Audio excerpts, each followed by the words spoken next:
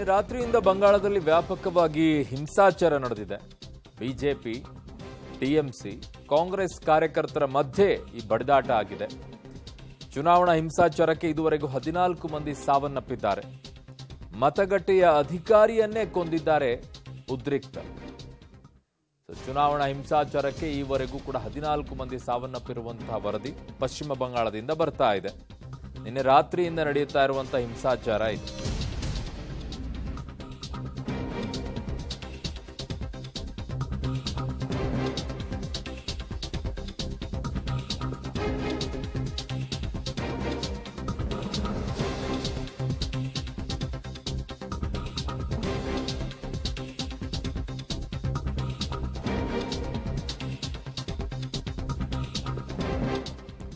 ಬಂಗಾಳದಲ್ಲಿ ಪ್ರಜಾಪ್ರಭುತ್ವದ ಕಗ್ಗೊಲೆಯಾಗಿದೆ. ಬ್ಯಾಲೆಟ್ ಬಾಕ್ಸ್ಗಳನ್ನೇ ಹೊತ್ತೊಯ್ದಿದ್ದಾರೆ ಉದ್ರಿಕ್ತ. ಮತಗಟ್ಟೆಗೆ ನುಗ್ಗಿ ಬ್ಯಾಲೆಟ್ ಬಾಕ್ಸ್ ಅನ್ನ ಧ್ವಂಸಗೊಳಿಸಿದ್ದಾರೆ. ಕೈಯಲ್ಲಿ ಗನ್ನು, ಕಲ್ಲು, ಕಚ್ಚಾ ಬಾಂಬನ್ನು ಹಿಡಿದು ಓಡಾಟವನ್ನು ನಡೆಸಿದ್ದಾರೆ. ಒಂದೊಂದು ದೃಶ್ಯಗಳು ಕೂಡ ರಣಭೀಕರವಾಗಿವೆ. ಸಾಮಾಜಿಕ ಜಾಲತಾಣದಲ್ಲಿ ಫುಲ್ ವೈರಲ್ ಆಗಿದೆ. ಈ ಎಲ್ಲ ವಿಡಿಯೋಸ್ ಕೂಡ ಪಂಚಾಯಿತಿ ಚುನಾವಣೆ ನಡೀತಾ ಇತ್ತು ಪಶ್ಚಿಮ ಬಂಗಾಳದಲ್ಲಿ. ಈ ಸಂದರ್ಭದಲ್ಲಿ ಮೂರೂ ಪಕ್ಷದ ಕಾರ್ಯಕರ್ತರು ವ್ಯಾಪಕವಾದ ಹಿಂಸಾಚಾರವನ್ನು ನಡೆಸಿದ್ದಾರೆ. ಕಾಂಗ್ರೆಸ್ ಟಿ ಎಂ ಸಿ ಕಾರ್ಯಕರ್ತರ ಗಲಾಟೆ, ಹೊಡೆದಾಟ, ಬಡದಾಟ ನಡೆದಿದೆ. ಕೂಚ್ ಬಿಹಾರ್ ಜಿಲ್ಲೆಯಲ್ಲಿ ಮತಗಟ್ಟೆ ಅಧಿಕಾರಿಯನ್ನು ಹತ್ಯೆ ಮಾಡಿದ್ದಾರೆ.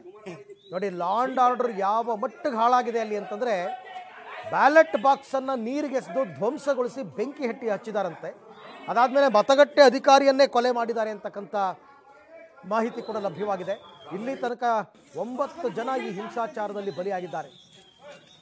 ಒಂಬತ್ತು ಜನ ಆ ಪರಿಪ್ರಮಾಣದಲ್ಲಿ ಇಲ್ಲಿ ಗಲಾಟೆ ಆಗಿದೆ.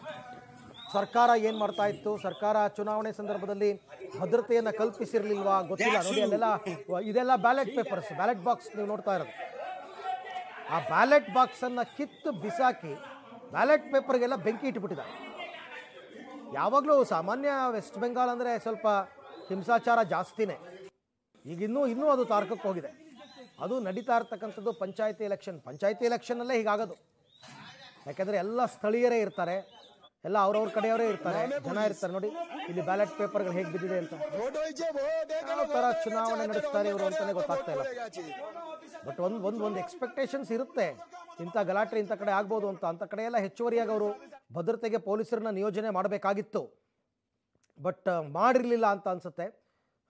ಒಂದೊಂದು ಒಂದೊಂದು ಬೂತ್ಗೆ ಇಬ್ಬರು ಇಬ್ಬರು ಕಾನ್ಸ್ಟೇಬಲ್ಗಳನ್ನ ಹಾಕಿದ್ರೆ ಏನು ಪ್ರಯೋಜನ ಇಲ್ಲ.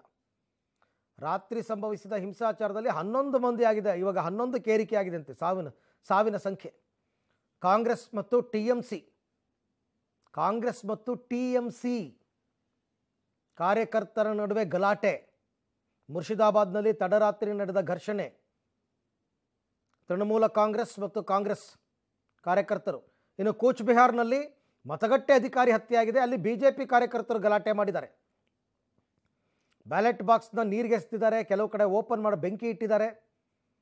ಈಗ ಸಾಮಾಜಿಕ ಜಾಲತಾಣದಲ್ಲಿ ಈ ದೃಶ್ಯಗಳೆಲ್ಲ ವೈರಲ್ ಆಗಿದೆ. ಅಲ್ಲ, ಇಲ್ಲಿ ಸಾಮಾಜಿಕ ಜಾಲತಾಣ ವೈ ವೈರಲ್ ಆಗದಂತ ಏನು ಎಂಥದ್ದು ಗೊತ್ತಾಗುತ್ತೆ ಎಲ್ರಿಗೂ ಕೂಡ ಏನು ನಡೆದಿದೆ ಅಂತ. ಅಲ್ಲಿನ ಲೋಕಲ್ ಮೀಡಿಯಾದವರು ಇದನ್ನೆಲ್ಲ ಕವರ್ ಮಾಡದೇ ಇರ್ತಾರೆ. ಖಂಡಿತವಾಗಿ ಗೊತ್ತಾಗಿರೋ ಜನಕ್ಕೆ ಇದೆಲ್ಲ ಏನಾಗಿದೆ ಅಂತ. ಈಗ ಸರ್ಕಾರ ಏನು ಕ್ರಮ ತಗೋತೀರ? ಒಂದು ಪಂಚಾಯತಿ ಎಲೆಕ್ಷನ್ನು ಕೂಡ ಕಮಿಷನರು ಚುನಾವಣಾ ಆಯೋಗದಲ್ಲಿ ಮಾಡೋಕ್ಕಾಗಿಲ್ಲ ಅಂತಂದರೆ? ಯಾರ ಕಾರಣ ಇದಕ್ಕೆ? ಯಾರಿಂದ ಈ ರೀತಿ ಆಗಿದೆ? ಇದೆಲ್ಲ ತನಿಖೆ ಆಗಬೇಕು, ಸಮಗ್ರ ತನಿಖೆ ಆಗಬೇಕು. ತಪ್ಪಿತಸ್ಥರು ಯಾರೇ ಆಗಿರಲಿ ಯಾವುದೇ ಪಕ್ಷದವರಾಗಿರಲಿ